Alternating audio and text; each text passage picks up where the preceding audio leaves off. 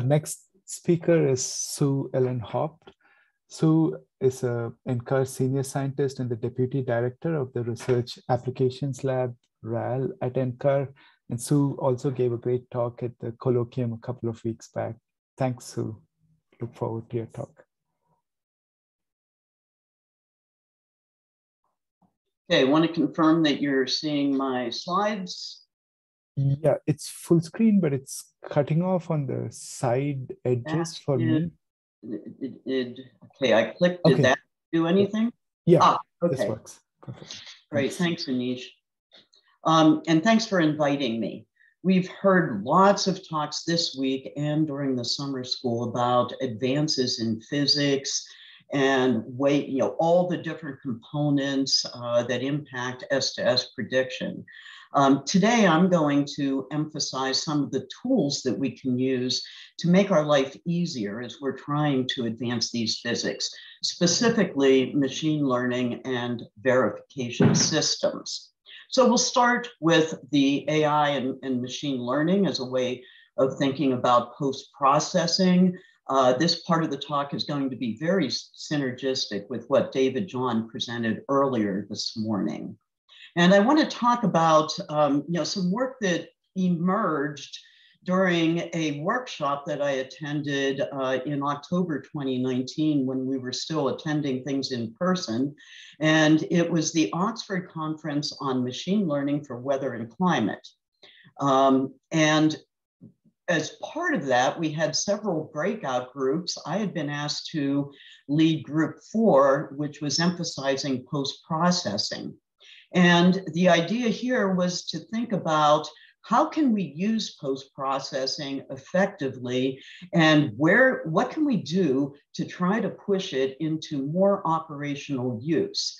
So the idea here is if models do have systematic biases then we can identify them. If we can identify them and quantify them of course we should be able to correct for them as well. And of you know some of the easiest methods have been developed back in the 70s, model output statistics, Glahn and Lowry. Um, but they, those methods have evolved, so we're now using machine learning approaches. And there was a question about that in David John's talk. And really, it's become ubiquitous and part of most forecasting systems, at least for any applications now, to have machine learning as part of these. And I talked about that a bit at the summer school what industry's doing about it. Um, we can do ensemble calibration with machine learning. We can do re regime dependent prediction um, by separating into EOFs, using k-means clustering, self-organizing maps, etc. And we can directly quantify the uncertainty using machine learning. Some folks like Vladimir Krasnopolsky have built uh, artificial neural network ensembles directly, and then folks like Luca Delle Monache have popularized an analog ensemble approach where you can build the ensemble based on past predictions using high resolution models. Here I'm uh, just showing a diagram of a typical method uh, where we can bring in a multi-model ensemble. We can correct each of those using a MOS-like approach with either machine learning or multivariate statistics. We can blend them optim optimally. We can include vectors. There's lots of things you can do to improve prediction in this method. And applications often drive the post processing. Um, you know, when I, a couple weeks ago, when I talked about what industry does, they have clients who want them to do a better forecast than they can get from the national centers. And of course, they bring in machine learning, but there's researchers obviously doing research on that too. A few years back, we were asked to do some machine learning as well as model improvement for solar power forecasting. Um, and through a, a a project with DOE, we, we really did blend the machine learning with the physics improvements to come up with better predictions for a particular variable. You know, and in this case, a, you know, a, a variable that can't be directly assimilated easily. Um, so when we strive toward merging the information, um, you know, we end up with user relevant information. And, you know, that's what we often strive for so that an end user can make decisions and we can support that with these machine learning post-processing approaches. Um, David John talked about using physics constraints for writing the loss functions. I'm not going to go into that in more detail. He did a great job of explaining some details of that. We always get asked questions, what happens with the long-term forecast when you have trends? You can uh, basically you know, work in terms of anomalies on a detrended database, then add the trend back in, as we did for a particular project we did a few years ago, looking at uh, climate impact. Um, deep learning is really showing advance in post-processing. And I love showing this example from Will Chapman and, and uh, you know, his team of advisors, um, where they were able to use a convolutional neural net on top of GFS trained to MERRA uh, reanalysis data, and they found that the big change was a phase shift. And using this convolutional net, by implementing that phase shift, which is really hard to do with other methods, they were able to significantly improve prediction of atmospheric rivers, you know, as shown in integrated vapor transport. Um, and additionally, we can provide substantial cost value by using these post-processing approach. You know, for example, um, you know, I talked about the analog ensemble. Luca Delle Monache wrote a paper where he showed um, the huge computational sa savings you can you you can get by building an analog ensemble that verifies uh, in a reliable way, statistically reliable way, that allows you to put your computational costs into having a higher resolution um, base case um, so that you don't have to run as many ensemble members. So the team talked about what is needed to really move forward in deploying post-processing, machine learning post-processing for weather and climate. First of all is trustworthiness. And again, David John talked about this. You have to have proper benchmarking.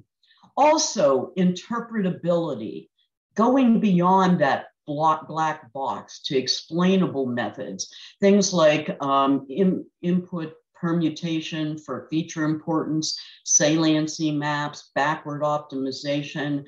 I love showing this example, um, you know, David John uh, on predicting large hail and then using this um, saliency maps, backward optimization, and identifying that this dipole structure is one of the structures that produces the large hail. Well, is that realistic? And gee whiz, Andy Heymsfield back in 1980 uh, identified this dipole structure as a feeder seeder mechanism uh, that did produce large hail. Now, we need data to be usable and bringing out the FAIR principles, we've heard about that earlier in the workshop, findable, accessible, uh, interoperable, reusable, um, important. We need to really push that uh, technique, applying the right methods for the problems. Um, you know, very important. We can't just bring in our favorite method every time, um, and we can't just try something new that doesn't apply. And it's important to quantify the uncertainty in addition. So, uh, you know, I, I thought Marika's talk, she was really great in looking at predictability in terms of are we um, you know, is our spread less than our signal? And, you know, these are very important aspects. So the next thing the group addressed was what is a roadmap? What are the actionable things we can do to achieve this vision? And the first thing we decided, we really do need data repositories. There's lots of people out there applying machine learning on different problems. Some of them do a great job. Um, you know, most of them do, but there are some folks who are just trying it for the first time. You know, they pull off a, you know, a Python library and, and just feed data in without really knowing what they're doing. really need to be able to compare to some benchmarks. So having a, a data repository will facilitate improving post-processing techniques. Standardizing data, again, getting back to the FAIR principles, bringing in these interpretability methods needing broad research. David John mentioned the Center for Trustworthy AI in Weather, Climate, and Coastal, Coastal Oceanography. It's led by Amy McGovern at University of Oklahoma, lots of partners, agencies uh, like NOAA included, uh, universities, uh, industry, including some of the big players like IBM, Google, NVIDIA, Vaisala, et cetera. Um, having a group like this making advances can really advance how we use um, machine learning for post-processing and other applications. Metadata in our data, this is really part of the, the FAIR standardization. If we have um, you know, standardized metadata and trying to understand what we have, including having uh, quality control data, labeled training data, you know, very important for advancing the use of machine learning post-processing. And then finally, coming up with a database of failures of AI. So many of us are reinventing the wheel, trying something that somebody else found didn't work earlier. What a waste of time. We can do better if we communicate our failures as well as our successes. So the group decided to put our effort where, where our advocacy was, and we did uh, build a repository as we were advocating for. Um, you can go to this GitHub on NCAR. Uh, the data is stored at uh, UCSD. Um, Anish contributed his, MJO and PN, PNA examples. Uh, Will contributed uh, the integrated vapor transport for the atmospheric river examples. We have data from ECMWF two meter temperature ensemble over Germany and UK surface road conditions. So we encourage those of you who want to try this out go to this data repository. You know, there's Python uh, assessment tools. Uh, we tried to make it really easy to access this data and try your own methods and compare against the, the benchmarks that are on the site. Now, for the second part of my talk, I want to highlight some tools for evaluating um, and, and specifically the model evaluation tools. And this is part of the um, Developmental Testbed Center, which is a collaboration between NCAR, NOAA, some DoD agencies, multiple universities. Um, and I've, I've boldly stolen some slides from Tara Jensen and her Met Plus team in a recent talk that she gave on how their applications are now going into the S to S realm. So MET, you know, the, the basis of this is really a composite of over a hundred traditional statistics and diagnostic methods for both point and gridded data sets. There's multiple interpolation methods. It can be applied to spatial and temporal scales, and it's developed for easy sharing of the configuration files. Lots of users, both, both in the US and international. Um, it, it, it's based on GRIB, GRIB2, NetCDF format. Uh, you can use it for gridded or point. Now, Met Plus is a suite of Python wrappers about, uh, you know, around the core. Um, you know, there's there's viewing systems, there's Python plotting scripts. You know, you can use as much uh, of your own code versus um, as uh, merged with as much of, of Met Plus that you wish. And, uh, you know, it, it, traditionally has focused on uh, short range weather, medium range, range weather, ensemble prediction, lots of variables. And like I say, recently added capabilities for S to S. So what uh, it does is it allows spatial analysis. There's neighborhood methods, um, you know, for upscaling and downscaling. There's masking. so that you can allow separating out night day. You can pull out specific latitudes that you might be interested for your particular problem. Uh, there's ensemble methods where you look at uh, scores, CRPS, rank probability, um, you know, probability, integral transform, all kinds of, you know, spread skill, uh, confidence intervals, as well as more traditional, you know, uh, statistics contingency table. There's a big um, mode application here. Um, mode is method for object-based diagnostic evaluation. It allows you to identify objects in your model data and then look how they change over time, how they might morph, you know, stretch, move, etc. Um, a large area to study tropical cyclones, um, you know, interpolating to common grids so you can compare data and observations very easily. Now, some of their, if I can get this to advance there, uh, some of their diagnostics are generally useful. Um, you know, they're bringing out now S to S multivariate distributions, multivariate objects, spatial distribution of error of errors, space-time coherence spectra, um, you know, looking at systematic errors, uh, using EOF analysis, all as part of these tools. Again, very easy to apply and merge your own Python code with this downloadable open source MetPlus. I'm going to highlight two basic examples. One is uh, related to MJO.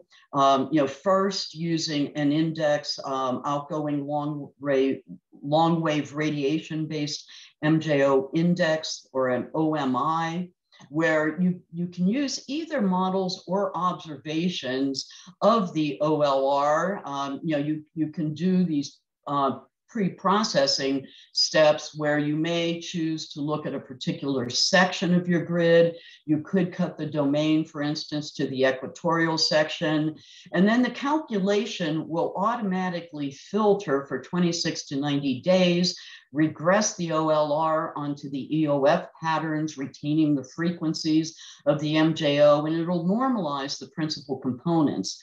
So that an output, a possible output is a phase diagram such as this, where you can look at the evolution in time of the different phases of MJO in terms of OMI.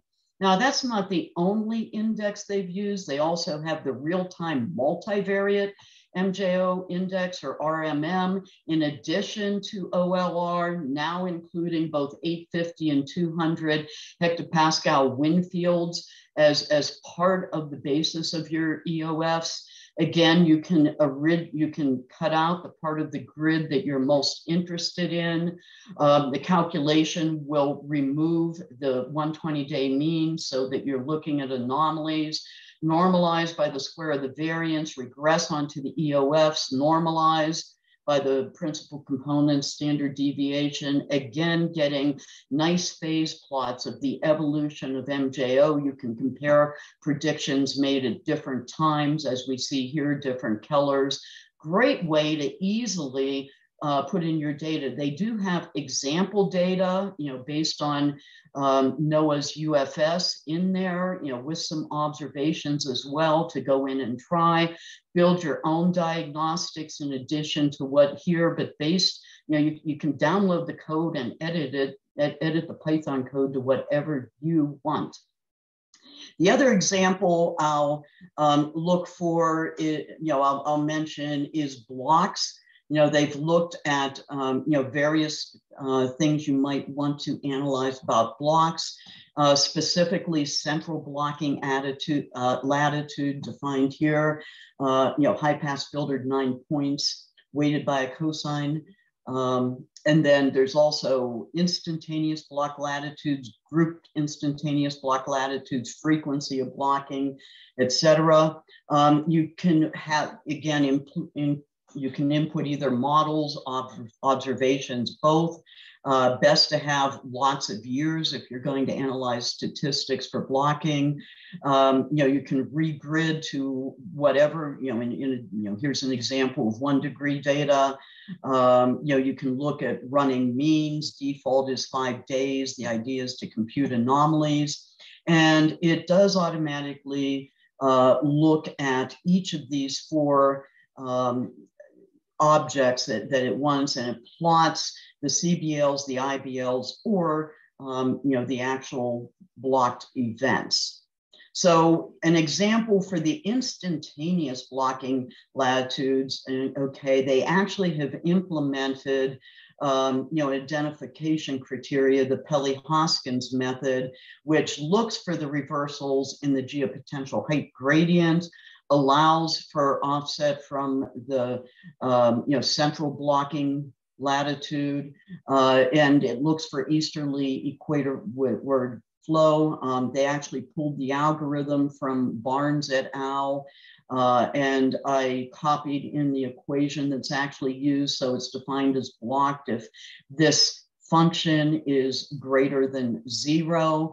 Uh, you, you can plot the 500 millibar height average here. You know, you can see especially you have the, you know, the, the blocking latitudes, the important blocking latitudes here over Europe, as we know. And when you look at uh, the frequency distribution, again, not surprising that you get just west of uh, Greenwich for the highest frequency, second highest. If you look at this, that would be off the uh, you know, just off the west coast of the US. So identifying blocks in your data, very useful.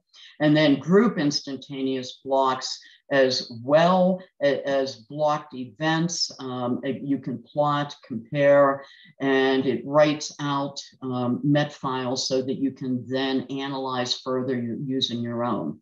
And you know, encourage you to go look at this. Uh, you can download it uh, from GitHub. Um, I'm not the best to ask questions, but Tara uh, loves to respond to user questions. So I put her email on that. And just in summary, uh, you know, really these tools are making it easier to make progress in um, you know many areas, both weather, climate, S to S. These machine learning tools, we're finding that interpretable deep learning is making inroads. Data archives can really help advance the science. And these rigorous easy to use validation tools so you don't have to reinvent the wheel and code the same validation codes. And you know these ones have been highly vetted debugged multiple times and are used by 3500 users. So i think it's easy to count on them being accurate so thank you Thanks very much, Sue. Yeah, that's really interesting, both the machine learning side, but also the MetPlus tools that can be used. Chidong, you have a question for Sue? Yes, uh, I'm, I'm very glad you uh, brought up um, uh, Met, uh, MetPlus. And I was very enthusiastic about these tools until this summer. I had uh, three interns, one computer major, and graduate students all worked together, try to learn MetPlus in a month, and we could not figure out how to use it. And we feel like we must have missed some critical steps and uh, but we're clueless. So i just wonder what kind of advices you, you can offer that maybe next summer we will uh, not uh, repeat this failure. Wow that's that's too bad and i'm sorry to hear that. Um, now they do have metplus um, workshops on an annual basis and if you could send somebody in your team to the workshop, and I'll be glad to get you information um, on how to sign up for that workshop, maybe that will uh, help in the future. The other thing is to directly engage the Met Plus team, um, and maybe they can help you jumpstart, uh, you know, to get going a little bit more quickly. So um, they, that's what they do is they engage with users. So instead of letting your interns spin their wheels, I really uh, encourage you to have, uh, have them reach out to the MetPlus team and maybe get some good hints on how to get started, how to download da the data, the tools, et cetera, so that they can be off and running much more quickly. Thanks. Thanks. Thanks, Shirong. Judith, you have your hand raised. I'm putting a note to connect you with Tara. Thanks very much, um, Sue Ellen.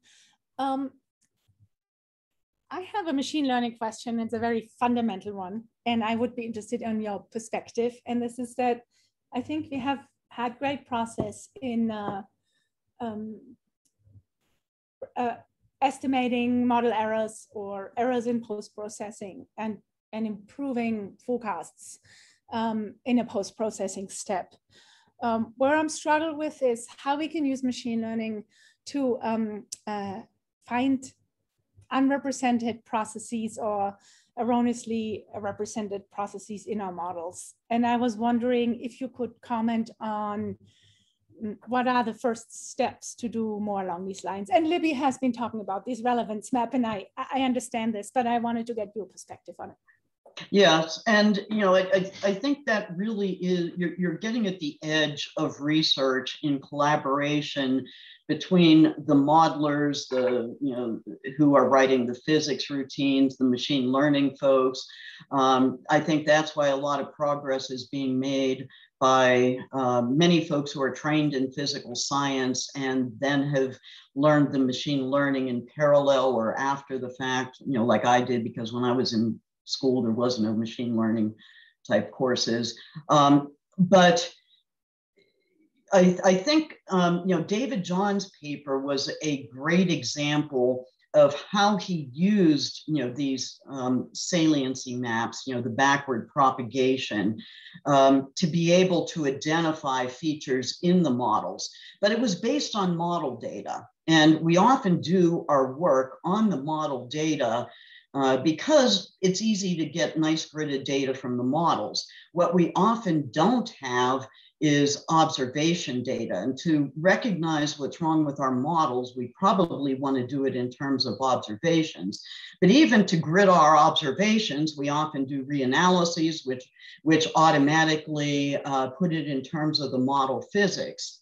I think we need to get to the place where we trust our observations well enough that we can go directly from some observational data. You know, now that we have uh, GOES 16 data and equivalent satellite data from across the world, um, you know, if we can look at some variables that we can composite over the globe, um, you know, uh, from the satellite data, perhaps we can get it working really with observations, then compare it to our models you know, not that there aren't problems with observations as well, but, uh, you know, even the, the, satellite data as well. But, you know, to really work um, with all three at once, the observational data, the model data, and the machine learning saliency methods that after we have trained, um, you know, to do whatever type of prediction we want. And identifying features, you know, just like these MetPlus tools do,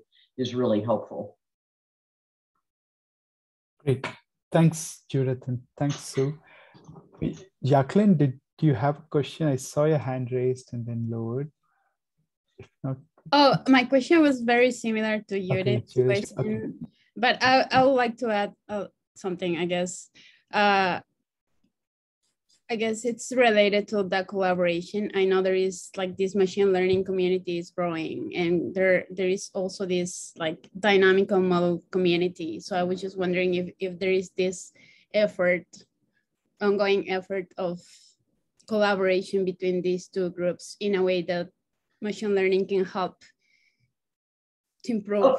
dynamical models and like the, the you know this feedback between these two communities because I think when we were, um, so some students were talking about this, like we're afraid that people are just gonna go and use machine learning only, and they are they are gonna forget about the dynamical models, and like we have to be aware of this issue. So I was just wondering if there is an ongoing effort, um, or yeah.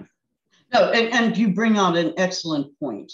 You know, we learned a lot about dynamics over the years. I mean, back in the 60s, in the days of you know Lorenz and Leith, they were trying to figure out what were the best ways forward using the dynamical models, or at that time, what they were looking at as statistical learning, you know, really before we were talking about machine learning much.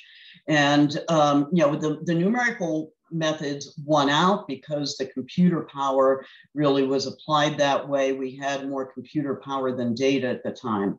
But a lot of the people who got into machine learning, you know, like myself, were originally modelers. Um, I still run modeling projects in addition to running machine learning projects.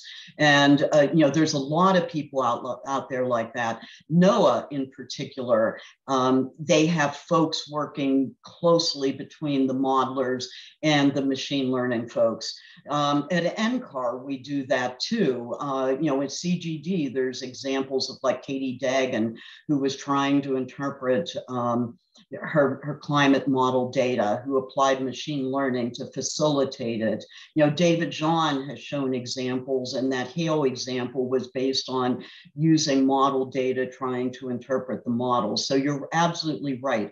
Getting the model people together with the machine learning people is the best way forward to make progress. Great.